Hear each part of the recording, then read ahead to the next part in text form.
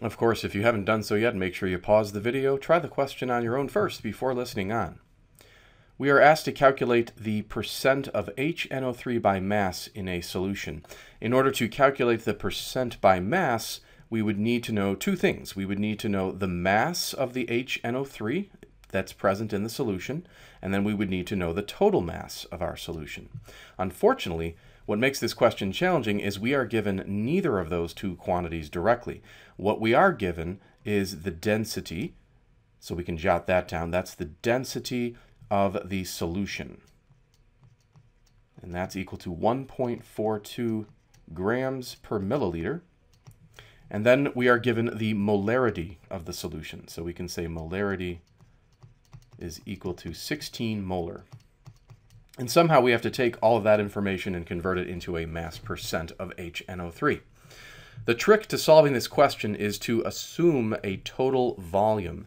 The choice is up to you, but it turns out that it's easiest to assume that the liters of solution that you're dealing with in this question is equal to one liter.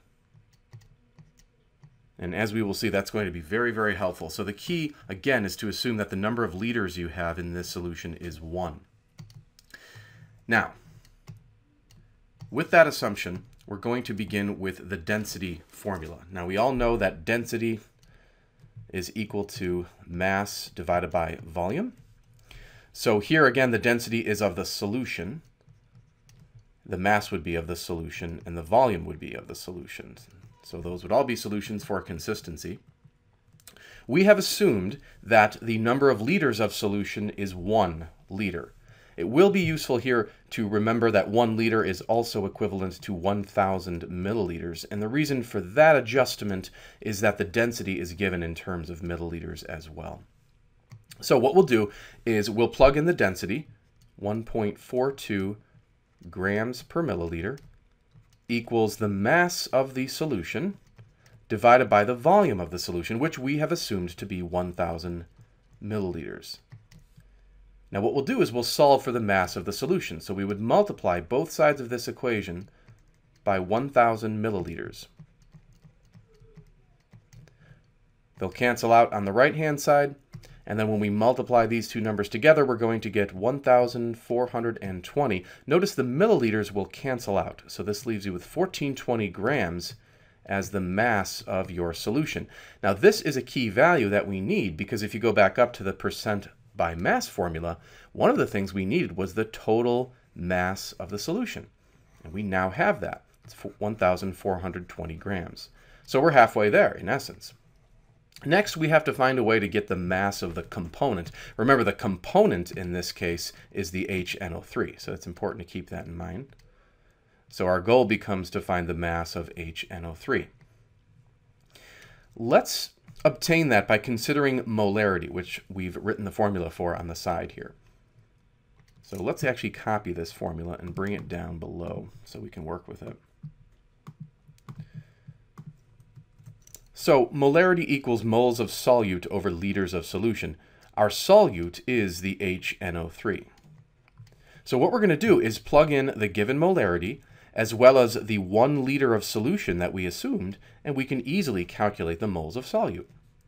Recall that the molarity of our solution was 16 molar, so we'll come down here and we'll plug in 16 molar is equal to the moles of HNO3 divided by the liters. We've assumed it to be one liter. And that's actually why one liter was a nice, easy assumption, because when we multiply both sides of this by one liter, then we have a nice, easy calculation over here. Remember, when you multiply molarity by liters, you end up with moles. So you'll have 16 moles is equal to the moles of HNO3. We're nearly there, but we don't want the moles of HNO3. We want the mass of HNO3. But that's an easy conversion. We can take the moles of HNO3 and we can convert it into the grams. All we have to do is look up the molar mass. So we're going to have one, excuse me, on the bottom, we're going to have one mole of HNO3 is going to equal the molar mass of it. Now, We can get the molar mass by looking for the elements on the periodic table.